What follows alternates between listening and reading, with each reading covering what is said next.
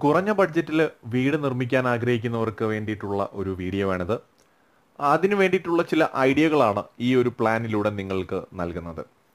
ഒരു പത്ത് ലക്ഷം രൂപയ്ക്ക് താഴെ ഒരു വീട് നിർമ്മിക്കാൻ ആഗ്രഹിക്കുന്ന ആളാണ് നിങ്ങളെങ്കിൽ അല്ലെങ്കിൽ നിങ്ങളുടെ കൈവശം ആ ഒരു ബഡ്ജറ്റ് മാത്രമാണെങ്കിൽ തീർച്ചയായിട്ടും ഇത്തരത്തിലുള്ള പ്ലാനുകൾ നിങ്ങൾക്ക് ഉപകാരപ്പെടുക തന്നെ ചെയ്യും.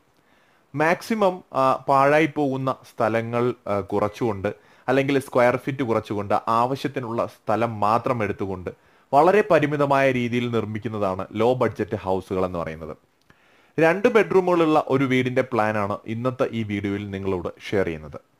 രണ്ട് സെന്റോ മൂന്ന് സെന്റോ മുതൽ ലാൻഡ് നിങ്ങളുടെ കൈവശം ഉണ്ടെന്നുണ്ടെങ്കിൽ തീർച്ചയായിട്ടും ഇതുപോലൊരു പ്ലാൻ പ്രകാരമുള്ള വീട് നിങ്ങൾക്ക് നിർമ്മിക്കാൻ സാധിക്കും. ഒരു കാര്യം ശ്രദ്ധിക്കുക ഈ ഒരു പ്ലാനിന് അനുയോജ്യമായിട്ടുള്ള പ്ലോട്ട് ആയിരിക്കണമെന്ന് മാത്രമേ ഉള്ളൂ. ഇവിടെ നമ്മൾ സിറ്റ് ഔട്ട് ഒഴിവാക്കിക്കൊണ്ടാണ് ഇത്തരത്തിലൊരു പ്ലാൻ തയ്യാറാക്കിയിട്ടുള്ളത്. പകരം വീടിനോട് ചേർന്ന് മുൻഭാഗത്തായിട്ട് തന്നെ കാറ് പാർക്ക് ചെയ്യാനായിട്ട് ചെറിയ ഒരു സ്പേസ് നൽകിയിട്ടുണ്ട്. കാർ പോർച്ചിന് സൈഡിൽ കൂടി തന്നെ നമുക്ക് അകത്തേക്ക് കടക്കാനുള്ള ഒരു പാസേജ് തീർച്ചയായിട്ടും ലഭിക്കും. ഒരു കാർ പാർക്ക് ചെയ്താലും ലഭിക്കുന്ന വിധത്തിൽ തന്നെയാണ് പ്ലാൻ നൽകിയിരിക്കുന്നത്. കാർ പോർച്ചിൽ നിന്ന് നമ്മൾ നേരെ കയറുന്നത് ലിവിംഗ് ഏരിയയിലോട്ടാണ് സാമാന്യം തെറ്റില്ലാത്ത ഒരു സ്പേസ് ലഭിക്കുന്ന ലിവിംഗ് ഏരിയ എടുക്കാൻ സാധിക്കും. അതോടൊപ്പം ചേർന്ന് ഡൈനിങ് ഏരിയയും അതിന്റെ തുടർച്ചയായിട്ട് കിച്ചണും നൽകിയിട്ടുണ്ട്. ഇടതുഭാഗത്തായിട്ട് രണ്ട് ബെഡ്റൂമുകൾ നൽകിയിട്ടുണ്ട്. രണ്ട് ബെഡ്റൂമുകളുടെയും മധ്യത്തിൽ ഒരു ടോയ്ലറ്റും നൽകിയിട്ടുണ്ട്.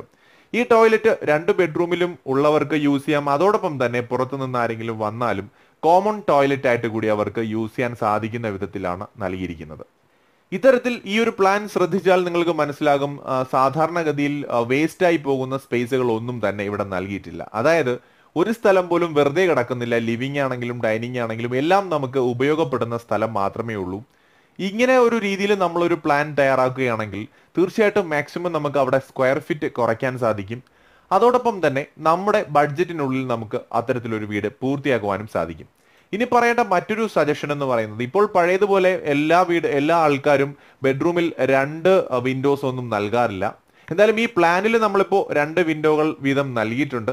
ആവശ്യമാണെങ്കിൽ മാത്രം അങ്ങനെ നൽകിയാൽ മതി. ഒരു വിൻഡോ മാത്രം നൽകുകയാണെങ്കിൽ അവിടെയും നിങ്ങൾക്ക് ചെറിയ രീതിയിൽ ബഡ്ജറ്റ് സേവ് ചെയ്യാനായിട്ട് സാധിക്കും. എന്തായാലും അത്രയും ഭാഗത്തേക്ക് നമുക്ക് ഇന്നത്തെ തടിയുടെ ഒരു ബഡ്ജറ്റൊക്കെ വെച്ച് നോക്കുമ്പോൾ തീർച്ചയായിട്ടും അവിടെ സേവ് ചെയ്യാൻ സാധിക്കുക തന്നെ ചെയ്യും. അപ്പൊ എന്തായാലും ഈ ഒരു വീഡിയോ നിങ്ങൾക്ക് ഉപകാരപ്പെടുമെന്ന് തന്നെയാണ് വിചാരിക്കുന്നത്. നിങ്ങളൊരു വീട് നിർമ്മിക്കാൻ പോകുന്ന സമയത്ത് നിങ്ങളുടെ ഐഡിയയിലുള്ള ഒരു പ്ലാൻ തയ്യാറാക്കുന്ന സമയത്ത് തീർച്ചയായിട്ടും ഇതിലുള്ള ചില കാര്യങ്ങളെങ്കിലും നിങ്ങൾക്ക് ഉപകാരപ്പെടുമെന്ന് കരുതുന്നു.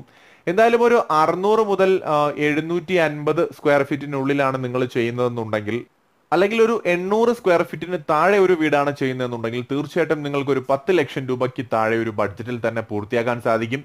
അങ്ങനെ പറയുമ്പോൾ ഒരു കാര്യം ശ്രദ്ധിക്കേണ്ടത് അവിടെ നമ്മൾ ഉപയോഗിക്കുന്ന മെറ്റീരിയൽസിന്റെ ഒരു റേറ്റും കൂടി കുറഞ്ഞതായിരിക്കണം.